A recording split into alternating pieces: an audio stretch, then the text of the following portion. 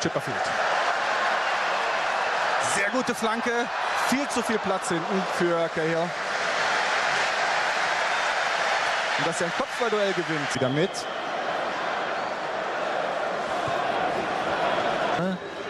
Und äh, suchen ihre Chance. Italien, okay, hatte eine Riesenchance mit Toni. Auch das war ein sehr starker Pack. Viduka gegen Cannavaro. Und gesagt hat, zur Not gehe ich auch mit in die Serie B. Ist der teuerste Torhüter der Welt.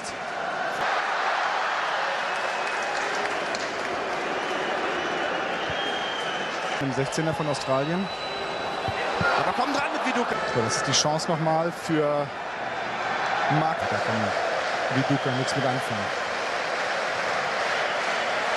Geht's und dass einer wie Viduka, auch einer wie Cahill da hinten gegen die großen Kopfballduelle gewinnt. Das haben wir schon gesehen. Hier ist mal bei Lucas Neal mit vorne. Das ist die Chance. Chipperfield. Riesentat. Greg Moore mit vorne und dann Scott Chipperfield in seinem 50. Länderspiel. Und dann hat man größere Chancen gegen die Italiener, als wenn sie sich hinten äh, reinstellen, ihre Formation aufbauen und dann ist es da Spiel.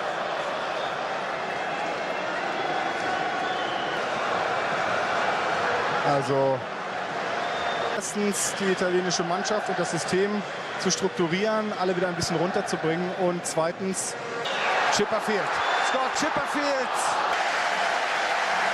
Aber das ist dann ist auch Italien schwer. Das ist der erste Eckball dieser Partie. Jetzt kommt ja Quinter mit raus. Gut gemacht von Buffon. Ball lang in der Luft. War trotzdem da. Ist oh, den darf er nicht aufnehmen, Buffon. So ist Vorne ist ein guter, guter Fußballspieler auch. Also da mache ich mir keine Sorgen, wenn er mal so angespielt wird. Viertelstunde vor Ende in dem Achtelfehler schon abgeschaltet. Bresciano, nee, nee. Wir werden das sehen, wir zeigen sie Ihnen exklusiv. Stojowski, sehr gut gemacht, Cahill. Er war zumindest knapp. Genau hingeschaut vom Assistenten.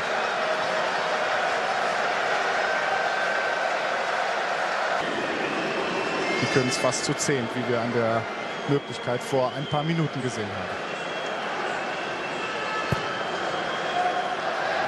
Gegen Cannavaro, klasse in der Mitte, Viduka und Buffon. Stark reagiert. Blitzschnell aus dem Tor heraus.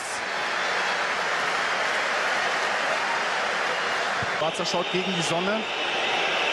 Und zwar direkt.